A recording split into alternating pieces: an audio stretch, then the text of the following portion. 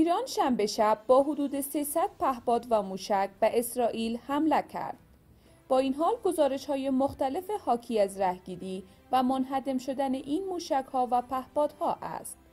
و ارتش اسرائیل می‌گوید بیشتر آنها خارج از محدوده اسرائیل سرنگون شده است. وزارت خارجه طالبان حمله ایران به اسرائیل را اقدام دفاعی مشروع خواند.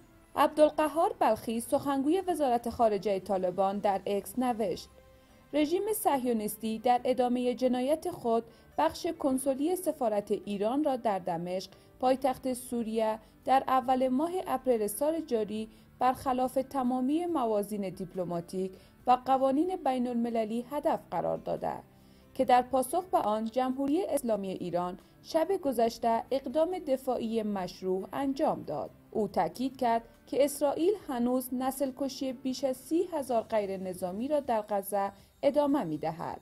طالبان همچنین از کشورهای مؤثر جهان و منطقه خواستند برای جلوگیری از گسترش بحران تلاش برای توقف جنایت اسرائیل را تسریح کنند.